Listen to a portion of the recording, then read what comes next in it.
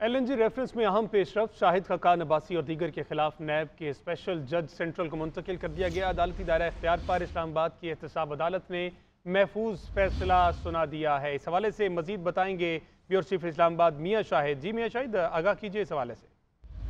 जी, ये काफ़ी अरसे से केस चल रहा था। आज जज बशीर, जो कि एहतसाब अदालत के जज हैं, उन्होंने अहम फैसला सुनाया है। उन्होंने शाहिद खकान अब्बासी और दीगर के खिलाफ नैब केस जो है, स्पेशल जज सेंट्रल को मुंतकिल कर दिए हैं और उन्होंने कहा है कि शाहिद खकान अब्बासी के और शरीक मुलजमान जो हैं वो नैब तरामीम के तहत अदालती दायराकार में नहीं आते और इस हवाले से शाहिद खाकान अब्बासी और दीगर के खिलाफ केस स्पेशल जज सेंट्रल इस्लामाबाद को मुंतकिल कर दिया जाता है। उन्होंने ये कहा है कि नैब तरमीमी ऑर्डिनेंस के तहत ये रेफरेंस इस्लाम अदालत के दायरा अख्तियार में नहीं है। और स्पेशल जज सेंट्रल की अदालत एफ़ आई ए से मुतलिक ये केसेस हैं।